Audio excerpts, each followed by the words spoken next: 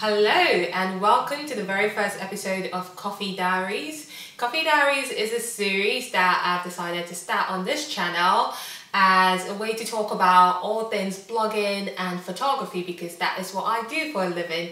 So um, the format that um, the series is going to take um, is you guys will have to leave questions in the um, comment box down below that are photography and um, blogging related and I will tackle through them in the upcoming episodes. So feel free to, you know, ask as much as you can. Um, we might be getting a bit personal on here, but I don't know. But for now, we'll just stick to the photography and blogging format. So today's episode, oh, I've got my, it says coffee diaries because obviously you need to have a brew with you. I usually don't drink coffee only when I'm out. Um, I love tea. My favorite brew is tea, believe it or not. I just thought the series sounded better calling it coffee diaries rather than tea diaries. Yeah, yeah, coffee diaries sounds a lot better. So in today's um, coffee diaries episode, um, I will be talking about um, the key skills that you need as a blogger or that I found that you need as a blogger.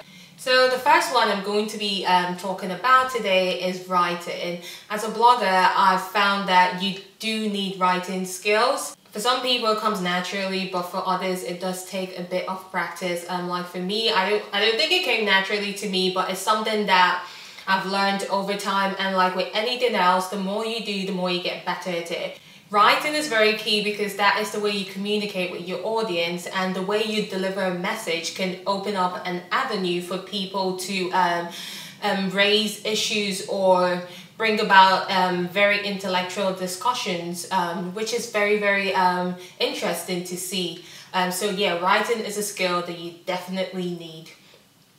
so moving on to the second one, obviously I'm going to say you need photography still. Photography is very important. Like I've seen a lot of bloggers um, who are not necessarily big in the sense of the word, who spend money paying or hiring professional photographers and I feel like, especially if you're starting out blogging, you do not need those additional expenses. You literally can take beautiful images on your phone. I mean, we have iPhones that have depth of fields, we have Samsungs, we have LG phones that do really amazing job when it comes to photography and you can utilize those tools until you can save up to get a professional camera like we take a lot of self-portraits. All the pictures where you see myself and Craig in it, we put on the tripod, use the camera and build self-timer and we shoot ourselves. Like my friend who's also a blogger, Samuel, takes the most amazing self-portraits. Like photography is easy. Like I said, with anything else, the more you practice, the more you get better at it. Um, and there are so many filters or editing apps that you can purchase or that you can use to make your pictures look a lot better. Um, because of platforms like Instagram, photography has become like um, a key skill to have as a blogger because that is a way to captivate your audience and keep them engaged. And even when they go on your blog, if they see that your photography is good, it kind of makes them want to stay longer. It's, it's just become a very visual platform. Um, so I would say photography skills is definitely one to pick up and you get to save money and not pay a photographer to take pictures of you. And I also feel like a lot of the magic happens when you don't have a professional photographer with you. So if you learn how to take pictures when beautiful things are happening or you feel a moment that is worth capturing, you can just whip out your camera and bang, you have the shot. You know, it saves you time, saves you money, it's a win-win situation. So the next one I'm going to talk about is creative direction. I feel like not many bloggers actually have this skill.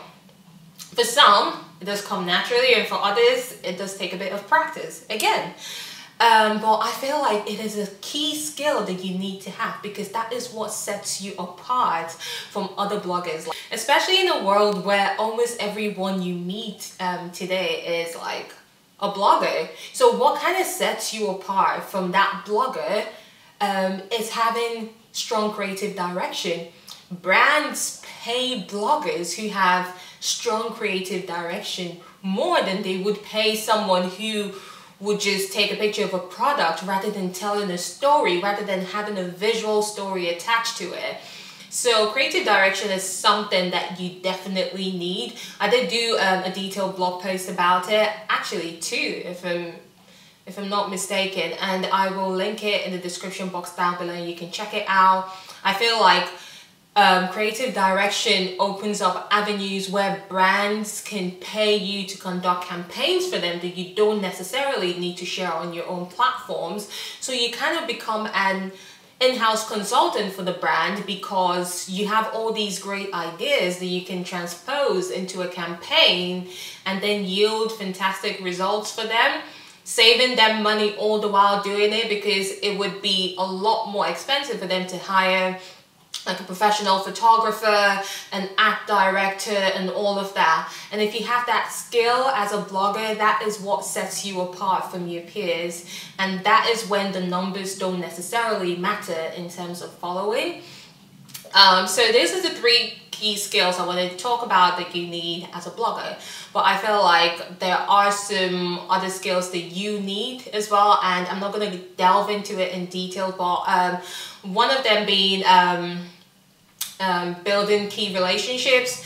Um, yeah, you do need key relationships to survive in the industry, whether it be um, building relationships with bloggers alike because that is how you get to um, share ideas, brainstorm, but not just that, but also um, collaborating and creating something beautiful. Um, and another skill that I would say you need people don't really like this one but it must be done is accounting skill. You don't need to be you know a chartered accountant or a qualified accountant.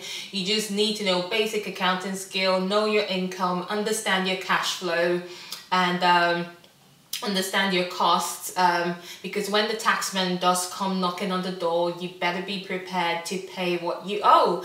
Um, basically I have come to the end of this um, episode of um, Coffee Diaries. I hope you guys have totally enjoyed it. Be sure to check out my blog. I do have a section dedicated to bloggers where you can find useful tips if you're starting out um, blogging or if you feel like um, you want to be more equipped in the world of blogging, be sure to check out my Instagram and follow me as well. Tweet me, let's get the conversation going.